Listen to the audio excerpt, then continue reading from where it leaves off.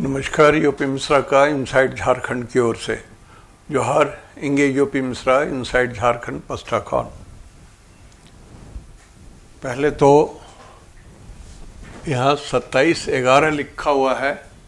इसके लिए माफ़ी मांग रहा हूँ, ये सत्ताईस बारह है।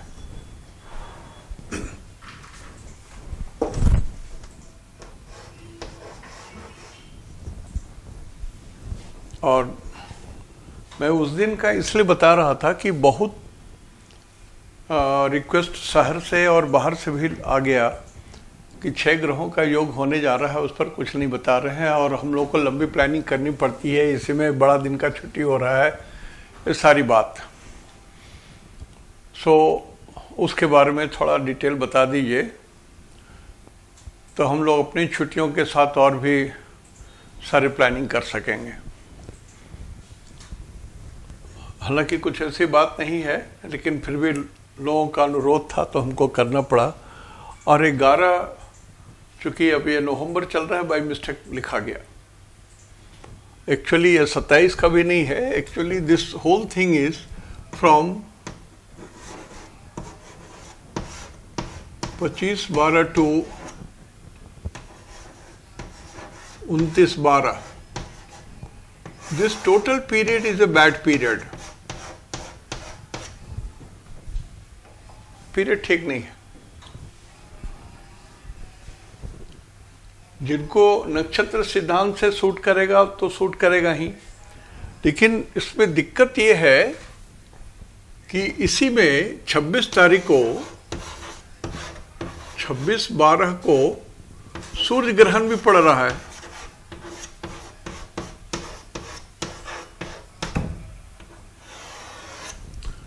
तो तीन फैक्टर हो गया। छह ग्रहों का संयोग, अमावस्या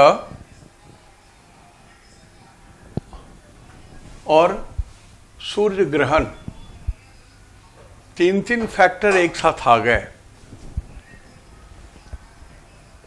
तो जिनको भी खगोल शास्त्र का थोड़ा भी ज्ञान होगा, उनके लिए तो चिंता का विषय है। ज़रूर चिंता करेंगे कि कुछ तो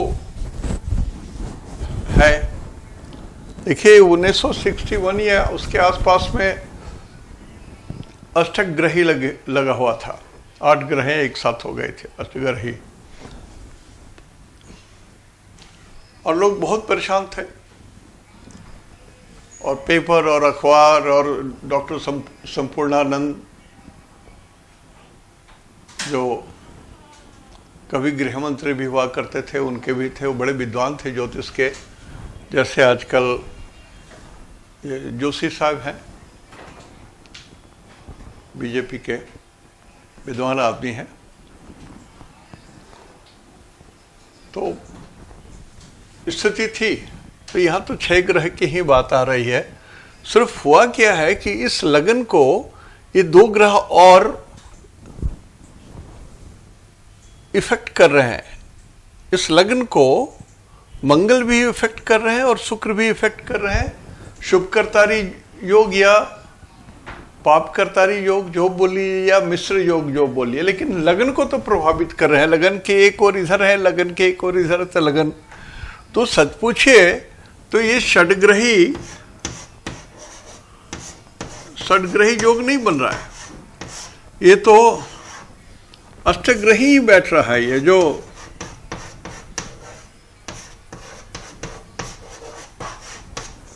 अष्टग्रही योग ही बन रहा है। सही माने में यही है।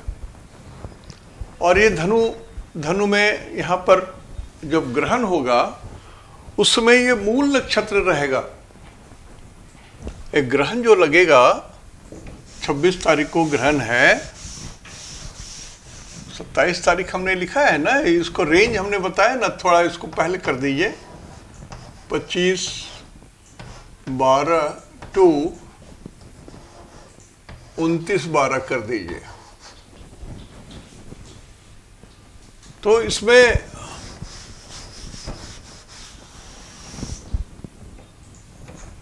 लगन को, धनु को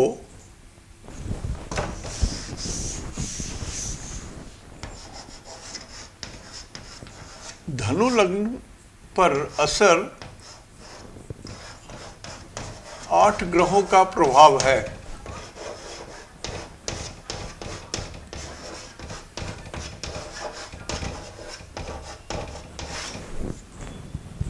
छह ग्रह तो सात में ही है।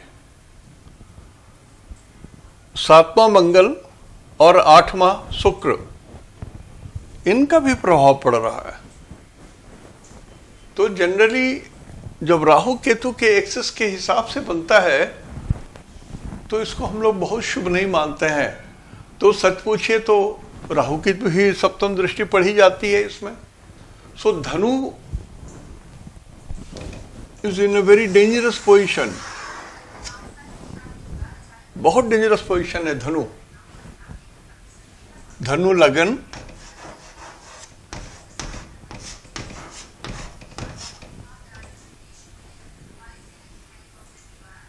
या धनु राशि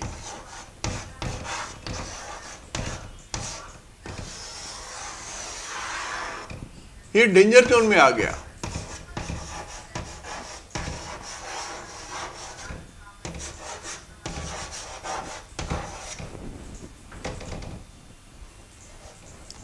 और नक्षत्र है केतु का, मूल नक्षत्र। मूल नक्षत्र है केतु का।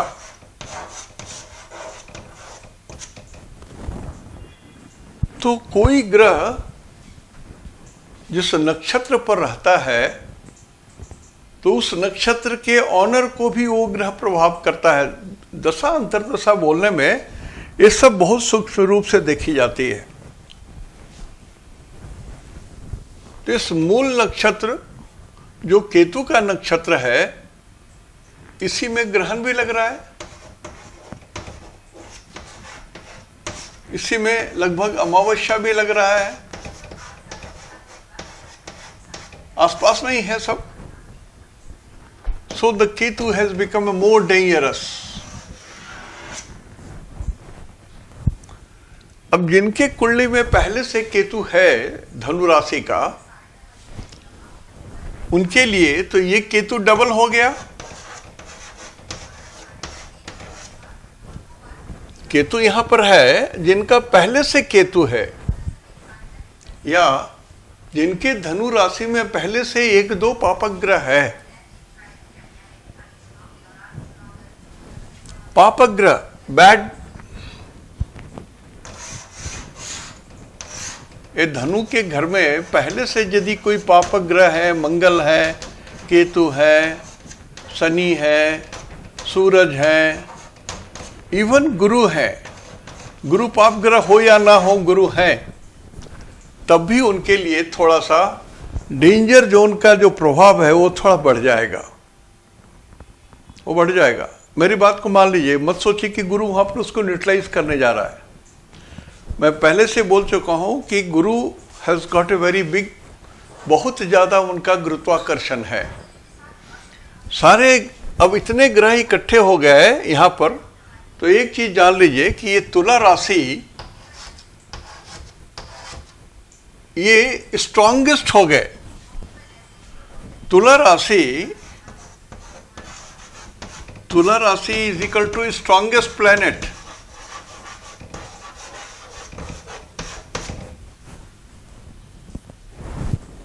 सबसे बलवान तुला राशि हो गई। और उससे कम बलवान कन्या राशि हो गई।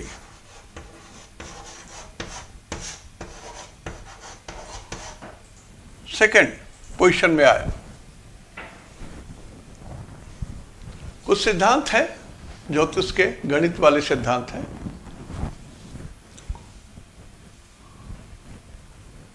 तो जिन तुला राशि वालों के लिए, जिनका राशि तुला है या जिनका लगन तुला है उनके लिए तो क्या अमावस्या और क्या ग्रहण और क्या ये सब उल्टा पुल्टा चीज़ सब टॉप क्लास जाएगा। The best you are the winner you are the gainer you are the successful one और ये तमाशा देखिए कि झारखंड की बात बोल रहा हूँ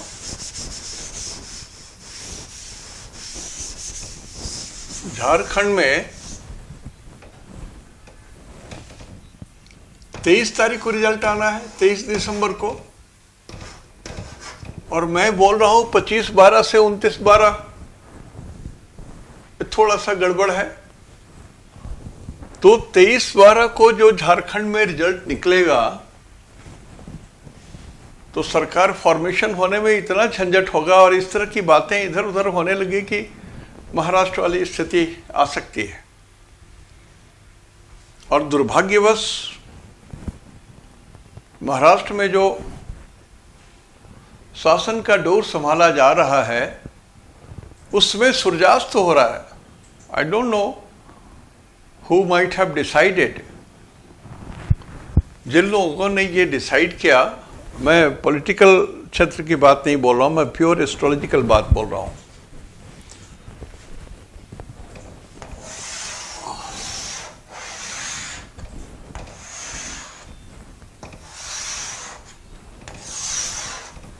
ये ये तो मॉर्निंग आवर्स है। Morning so this is evening so it is a mid night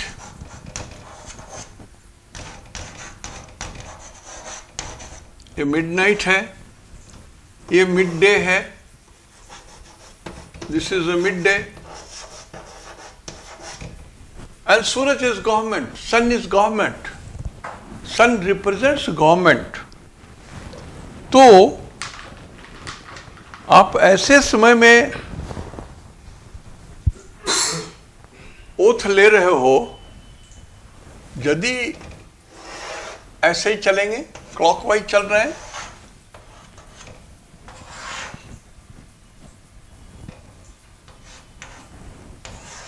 ये सर्किल बनने जा रहा है। तो क्या पोजीशन है? सूरज यदि यहाँ पर आ जाते हैं मार्केस हो जाते हैं, यहाँ आ जाते हैं सूरज तो मृत्यु के घर में आ गए। एंड सूरज माने सरकार। तो स्थिति तो डावाडोल रहेगी। और संभवतः ये लगन तीन का है। हमने पूरा गणित नहीं किया है। छः चालीस में शायद लिया जा रहा है ओथ। तो संभवतः तीन है तो तीन, चार, पाँच छ सात, आठ, नौ, दस, ग्यारह, बारह, एक, दो। तो बुद्ध यहाँ पर ज़रूर हैं। लग्न पर बुद्ध की दृष्टि पड़ रही है। और सूरज यहाँ नहीं है। लेकिन संध्या के कारण स्थिति हो सकती है कि सूरज यहाँ हो या यहाँ हो। दोनों में से कोई एक जगह सूरज होंगे। लेकिन सूरज की स्थिति सही माने में अभी जो सूरज है, नंबर की बात बोल रहा हूँ मैं।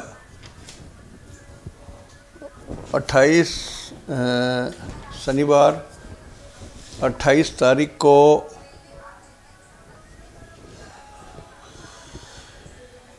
अट्ठाईस दिसंबर नहीं यार, अट्ठाईस नवंबर। अट्ठाईस नवंबर को सूरज है आठ में। तो सूरज तो यहाँ है भाई। Suraj is here not here not here सूरज यहाँ पर है।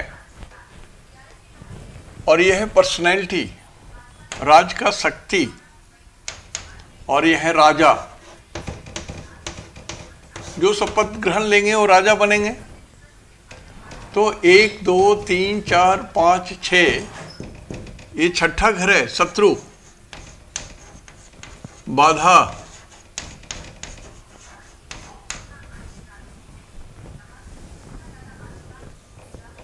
तो ये जो सूरज है, ये रात्रि जोन में चले आए, अंधकार जोन में चले आए तो सरकार में तो थोड़ा संकट बना रहेगा। ये पार कर पाएगा, लक्ष्मण रेखा या नहीं, ये तो संदेह है। लक्ष्मण रेखा जो इन लोगों का होता है, चुने हुए विधायकों का, वो सीमा ये पार कर पाएँगे, इसमें थोड़ा संदेह है। और ये स्थिति आगे आ रही है। दिसंबर में तो यही स्थिति और कठिन हो जा रही है। यहाँ नौ नंबर में शनि है, केतु है, गुरु है, हो सकता है सिर्फ़ एक कॉम्बिनेशन देख करके ही, सिर्फ़ यही कॉम्बिनेशन देख करके उन्होंने डिसाइड किया होगा। I don't know what he saw what was his motive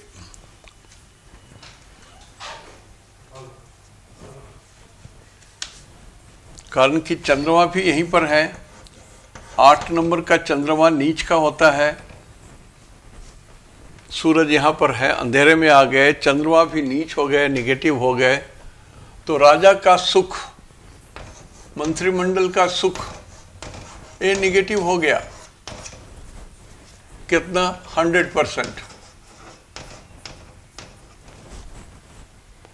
और सात, आठ, नौ, ये भाग्य भी, ये भी। इसलिए मैंने कहा कि स्थिति आकाश की अच्छी नहीं है। आकाश की स्थिति उतनी अच्छी नहीं है, जिसके कारण कुछ लोगों ने, जो बुद्धिमान लोगों ने बहुत सारे प्रश्न पूछे थे और मैं जिस रूप से डिस्क्राइब किया जा रहा था जो हमारा काम था उसको छोड़ करके हमको आ, इस प्रडिक्शन के लिए आना पड़ा। और बात सही भी है जैसे बड़े दिन की छुट्टी होने वाली है तो मेरे घर में भी बच्चों का नाती का डिमांड है यहाँ जाना है वहाँ जाना है ये प्रोग्राम करना है वो प्रोग्राम करना है होटल बुक करना है वगैरह वगैरह। और मेरा बस चले तो मैं लोगों को कहूँ को ये चार दिन तो घर से बाहर मत जाओ, परिवार के साथ रहो। Mostly I will recommend I will request ये चार दिन बुरे हैं। तीन फैक्टर से, ग्रहण लग रहा है अमावस्या है, और सही में आठ ग्रहों का प्रभाव है लग्न पर धनु राशि में।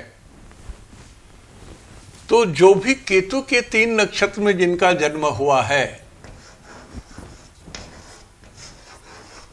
केतु के तीन नक्षत्र में जिनका जन्म हुआ है, जैसे अश्विनी,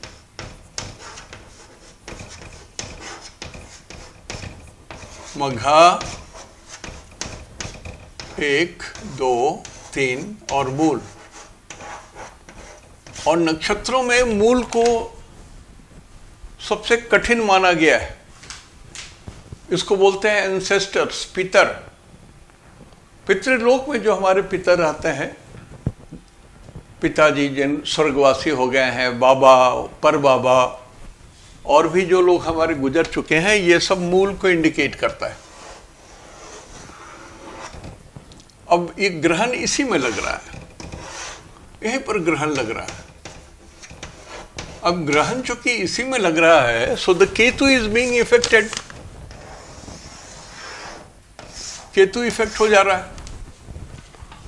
और धनु राशि में लग रहा है तो धनु राशि वाले अपने हो गए। धनु राशि वाले के लिए ये बहुत खराब है। धनु लगन वाले जो है, लगन जिनका धनु है उनके लिए भी ये पीरियड खराब है? तो राशि वाले के लिए यदि ये हंड्रेड परसेंट खराब है तो लगन वाले के लिए बीस परसेंट खराब है। लेकिन खराब है, ये बात जान लीजिए, खराब तो है।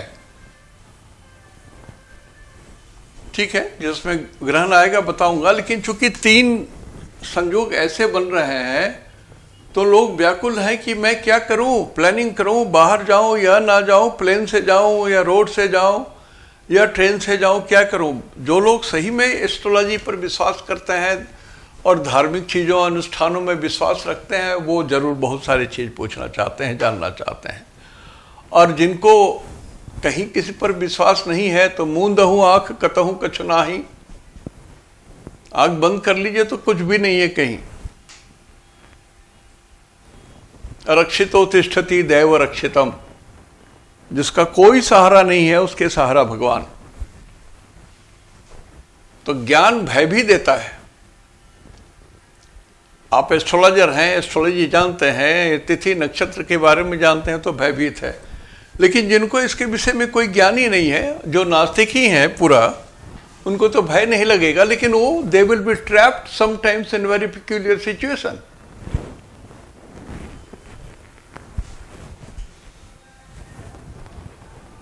कुंडली में कुछ चीज़ें ऐसी होती हैं जो मैं कभी कभी लोगों को बताता हूँ कि जब घर में लगातार बहुत मृत्यु या आपके ब्लड रिलेशन में बहुत सारी मृत्यु होने लगे ब्लड रिलेशन का मतलब हुआ आपके पिताजी पिताजी के भाई, उनके बाल बच्चे, पिताजी के बहन, बुआ जी, उनके बाल बच्चे, बाबा ग्रैंडफादर उनके भाई और इस इस पूरे क्लैन के भीतर में यदि मृत्यु, दुखद मृत्यु होने लगे नॉर्मल मृत्यु ना हो, दुखद, मृत्यु सुखद भी होती है, दुखद भी होती है। इसीलिए दीपावली के एक दिन पहले जम महाराज की पूजा की जाती है, जम देवता की पूजा की जाती है, उनके लिए एक दीपक अलग से निकाला जाता है। दिवाली के एक दिन पहले जम दियरी निकाली जाती है, बहुत जगह ये प्रथा है। और जो लोग नहीं जानते हैं तो नहीं जानते हैं। कहे कि जमराज की पूजा नहीं होती है, एक ही दिन पूजा होती है। दिवाली के ठीक एक दिन पहले। और नियम यह है कि जो सबसे वृद्ध आदमी हैं, जैसे मैं अपने घर में वृद्ध हूँ, लेकिन जब मैं जवान था, युवा था, तभी मैं ये पूजा करता था। कुछ करना नहीं है। एक दीपक संध्या को, संध्या मुख में, ट्वेलाइट्स जब सूरज डूबने को जा रहे हैं या डूब गए हैं, थोड़ी सी आभा निकल रही है फिर भी। उस समय दक्षिण दिशा मुख करके नीचे थोड़ा ज़मीन में पानी डाल दीजिए, या गोबर है तो गोबर से पोष दीजिए, एक दीपक वहाँ पर जला दीजिए। और उस जो लौ है, ध्यान कीजिए कि ये दीपक जो जलाए हैं, ज्योति है, ये ज्योति के सामने में भगवान जमराज खड़े हैं। आप उनको प्रणाम कर रहे हैं कि भगवान, आप अपने कार्य में रत रहें। लेकिन मेरे परिवार में कोई अकाल मृत्यु नहीं हो, कोई दुखद मृत्यु नहीं हो, सारी मृत्यु में आनंद हो, आनंद के साथ ही सभी लोग मृत्यु लोक में आपके साथ जाएँ। ऐसे ही स्थिति में आप सबको ले जाएँ। ये मेरी प्रार्थना है आपसे। साल में एक ही बार आपसे मौका मिलता है प्रार्थना करने का। वही प्रार्थना आज मैं कर रहा हूँ। मेरी प्रार्थना सुन लो भगवान। वृद्ध लोग करते हैं। और दीपक जला करके कहावत ऐसी है कि दीपक जला करके सीधे आप घर चले जाइए, लौट के नहीं देखना चाहिए। एक दूसरा चीज़ ये ऐसे जगह जलाना चाहिए जो घर से बाहर हो, थोड़ा सा दूर आपके परकोटे के अंदर में भी हो सकता है, लेकिन आप जहाँ दीपक जला दिए, फिर वहाँ पर हलचल नहीं होना चाहिए। वहाँ पर आप वापस जाइए नहीं। ये ये सब है अब। देखिए कुछ होती हैं जो एक शास्त्रीय नियम होता है। एक नियम होता है जो व्यवहारिक और लौकिक नियम के अंदर में आ जाता है। मैं नहीं जानता कितना सत्य है और कितना असत्य है। लेकिन ये परंपरा हमारे पिताजी बाबा जी के समय से चली आ रही है। मैं इस परंपरा को निभाता हूँ। तो ये जो स्थिति बन जाती है, सभी लोग परेशान रहते हैं। जो लोग जानते हैं कि क्या होने वाला है। तो होने वाले में सबसे कष्ट उन्हीं को होना है जो धनु राशि के हैं और मूल नक्षत्र जिनका है और केतु के तीन नक्षत्र में जिनका जन्म है। अब इसमें यदि वर्गीकरण करेंगे तो मैं उसमें बता दूँगा। अभी तो सिर्फ़ उसी पॉइंट पर मैं बात नहीं कर सकता।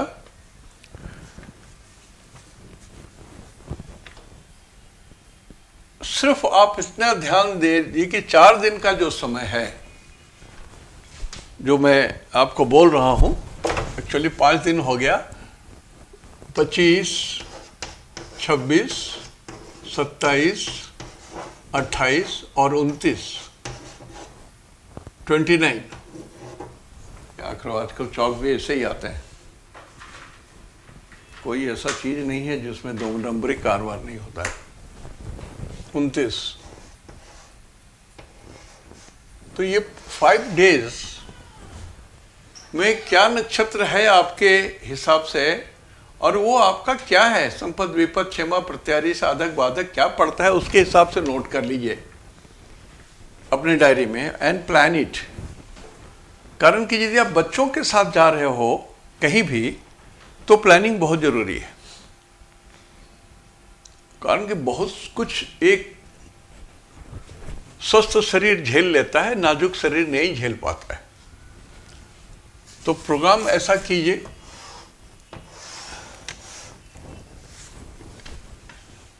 कि मैं तो बेवकूफ़ हूँ कि ऐसा बात कर रहा हूँ कि घर में रहिए, बाहर मत निकलिए। संभव नहीं है। It is not a practical step लेकिन सावधान रहने की बात है। शरीर से, मन से, मनसा, वाचा, काया, जो भी समझ लीजिए आप तो वो, मैं वो बताने के लिए था उस दिन भी। कभी कभी दिमाग में बहुत सारी चीज़ उमड़ती रहती है तो भाग जाता हूँ मैं। कहा बोल रहा हूँ, कहा चला जाता हूँ।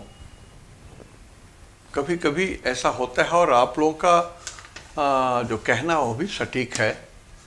लेकिन ये चीज़ ही है, ऐसा नहीं है कि ये कल्पना और इसमें मन यदि आप भीतर ढुक गए तो आप ट्रांस में चले जाते हो। अब इसी दिन धनु राशि से नाइन्थ हाउस में सूरज है। और ये सूरज लग्न में आ गए हैं, धनु राशि में आ गए हैं। तो सूरज माने आत्मा।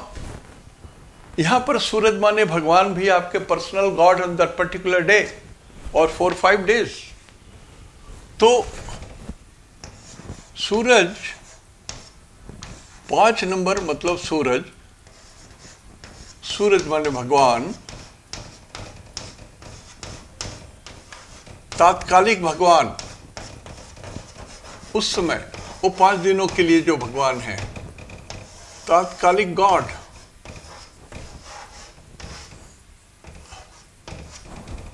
अब ये जो गॉड है, ये कौन है? ये धनु राशि में है। सूरज जो है, ये धनु राशि में आ गए। धनु राशि गुरु ओन करते हैं? धनु राशि का मतलब होता है गुरु।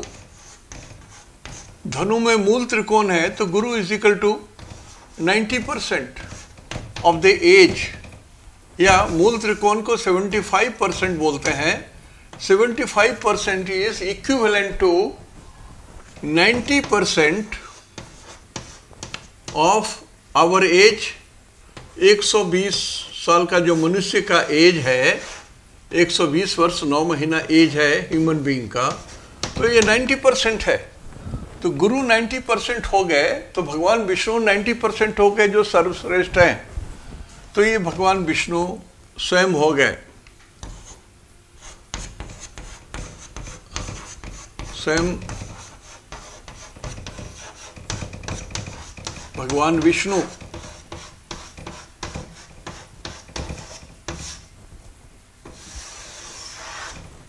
अब इनका वर्शिप करना है, इनको पूजा करना है। ये पूजा हो तो सबका कल्याण हो। आप किसी धर्म को मानने वाले हो। शैव हो या वैष्णव हो।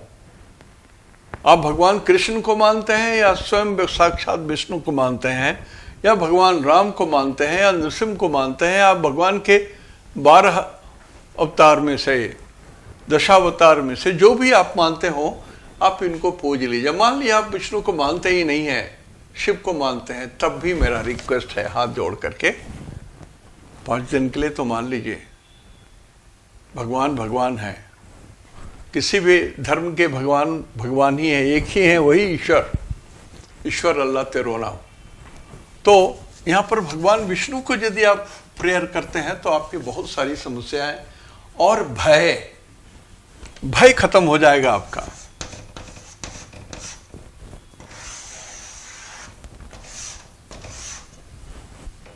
श्योर।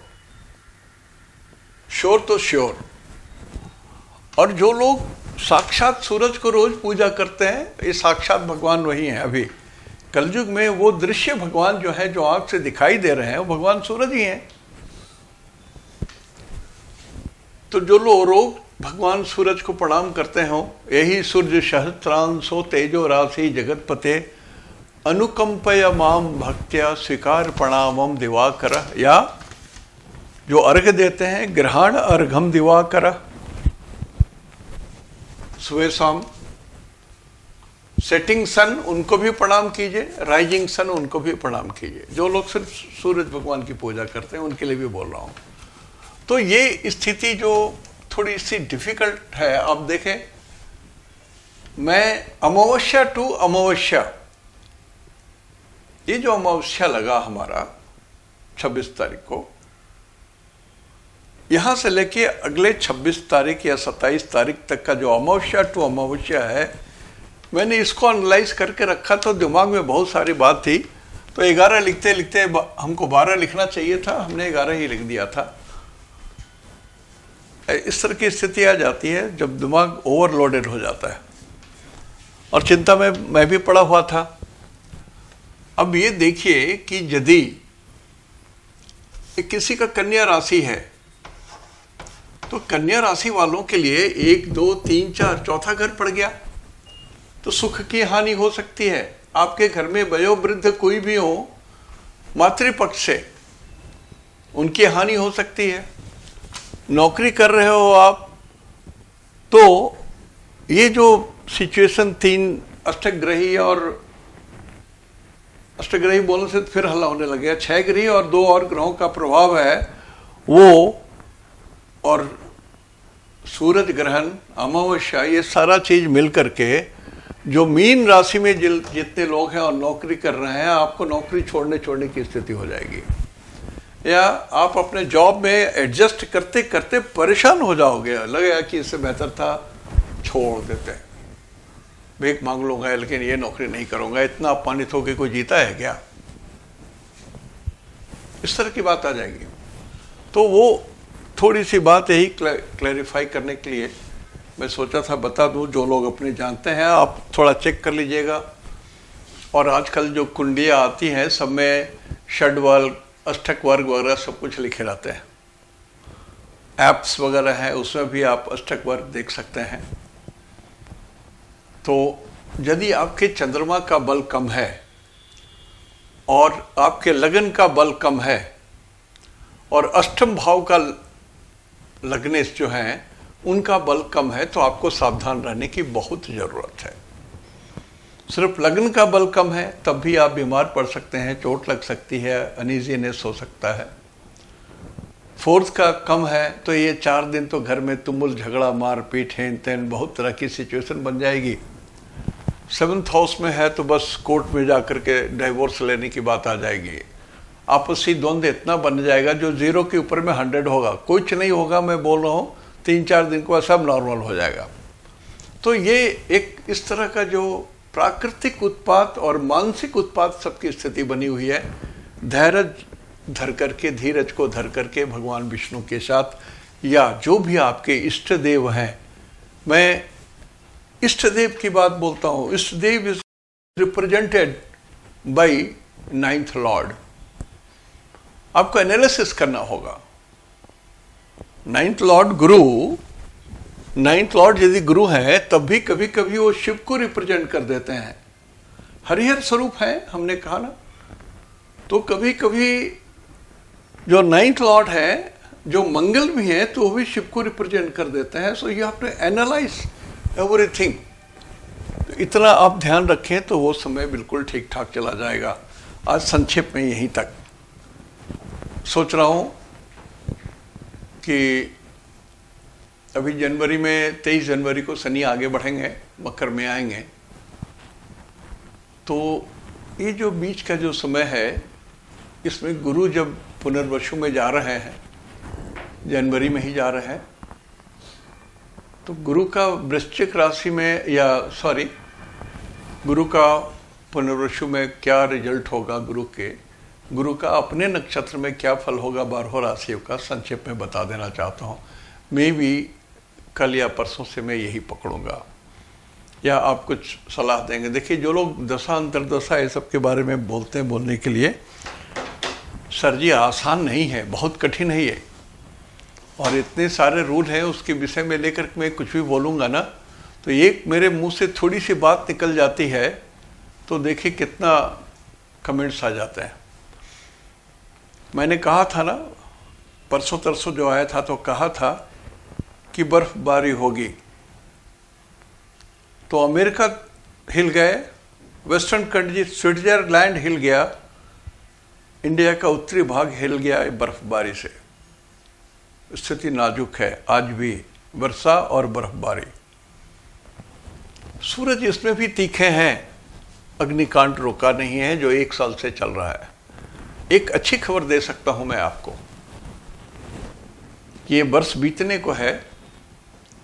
इस वर्ष का अवसान बहुत ही समीप है, एक महीने के बाद। और हम लोग अभी इकोनॉमी इकोनॉमी मूल्यन, अवमूल्यन हो रहा है, मुद्रा का ये सारे संकेत है डाउनफॉल हो रही है रिसीसन हो रही है, मंदी आ रही है, सब बहुत सारी बात हम लोग सोच रहे हैं। सही है? लेकिन ग्रहों की भाषा के हिसाब से मैं कहता हूँ कि 2020 में भारतवर्ष को उतना झेलना नहीं पड़ेगा। दूसरे विश्व के देश जूझे तो जूझे। India is not going to be affected by this so मुक्त होकर के व्यापार करें। व्यापारी मुक्त होकर के, निर्भय होकर के व्यापार करें। कुछ नहीं बिगड़ेगा, कुछ नहीं बिगड़ेगा, कुछ नहीं बिगड़ेगा, ये मिश्रा जी की गारंटी है। लेकिन इस बीच में दो तीन बार धार्मिक उन्माद के कारण झगड़े हो सकते हैं, उसमें कुछ झंझट होगा। और कुछ ऐसी बातें होंगी, दो राष्ट्रों के कारण व्यापार थोड़ा सा बीच में रुकेगा। वो ज़्यादा नहीं, एक डेढ़ दो महीने की बात है। But the overall the economy of India is going to grey grow so आज यहीं तक, इति शुभम तेहंदो निनागे जोहार।